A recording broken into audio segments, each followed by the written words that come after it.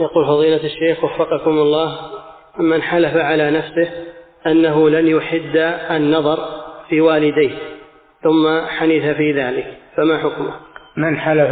على نفسه أنه لن يحد النظر في والديه ثم حنث فما الحكم فيه؟